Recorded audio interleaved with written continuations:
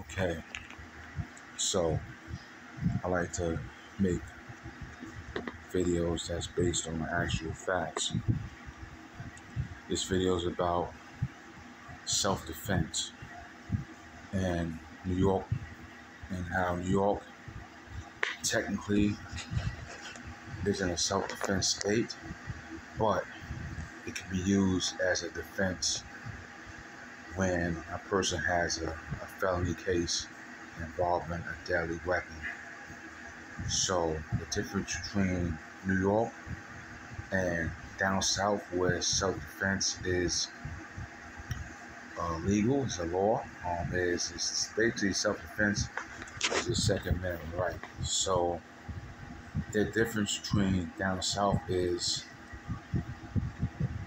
with the uh, circumstances of the case and the actual facts of what happened, the facts of the matter, a person can use deadly force to defend their property.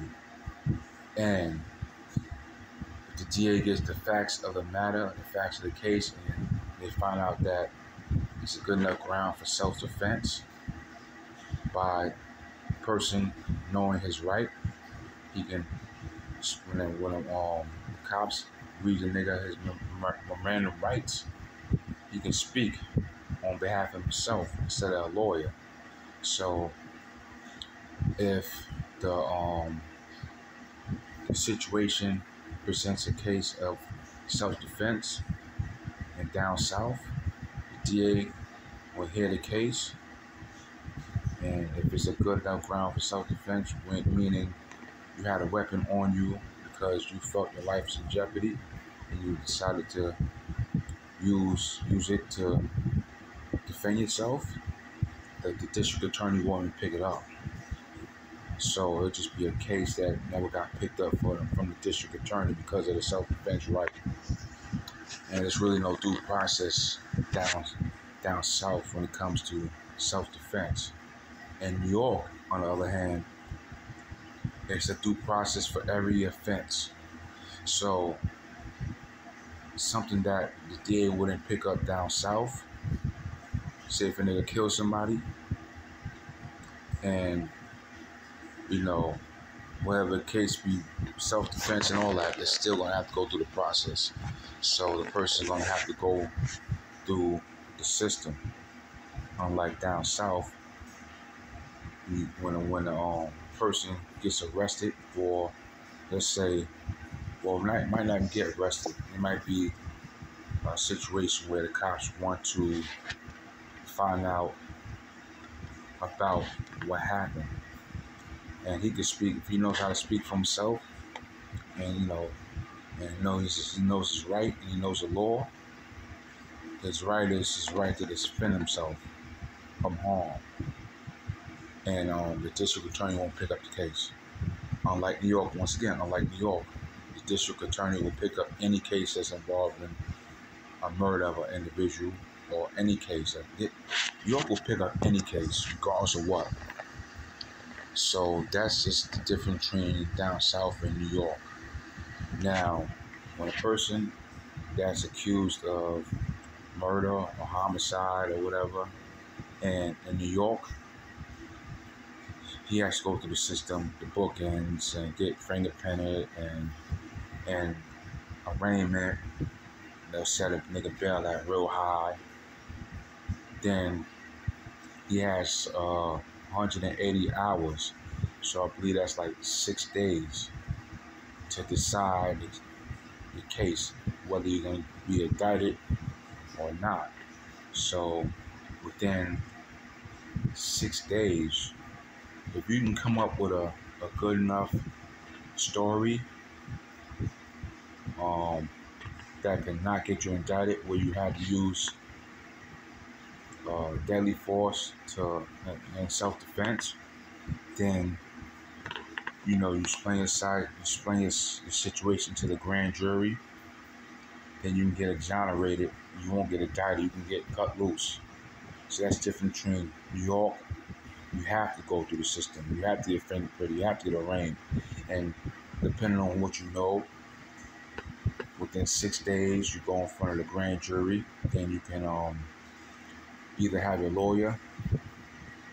I wouldn't do that. If I if, if motherfucker know how to speak, he can talk his way out of that. You know what I'm saying? He can talk his way he did. If he got priors, he might be convicted of possession of a deadly weapon.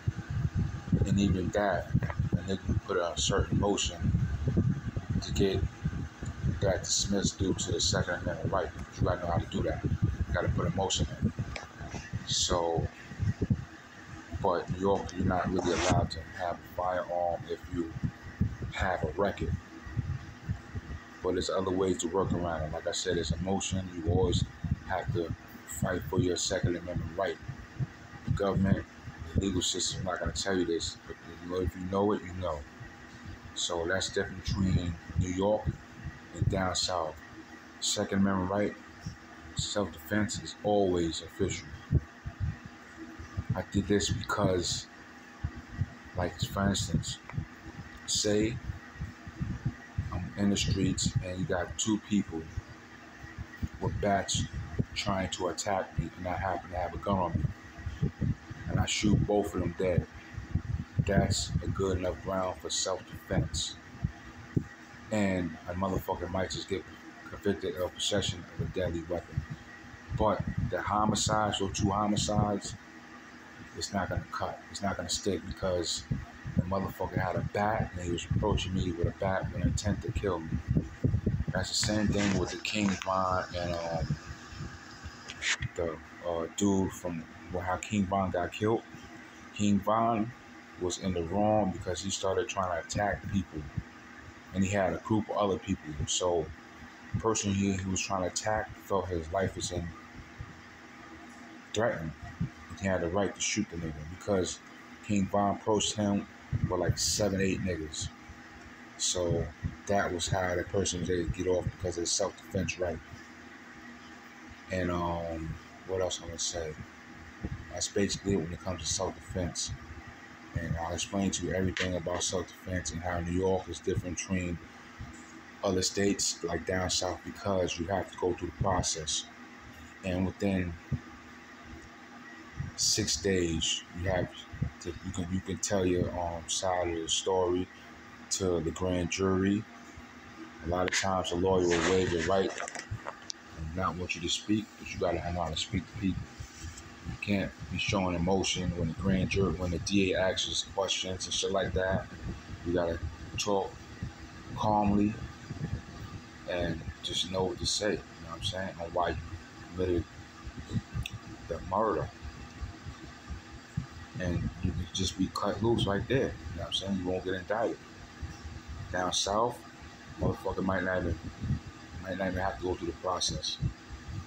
Motherfucking DA might not even want to pick up the case if, he, if the motherfucker feels it's not a good enough ground.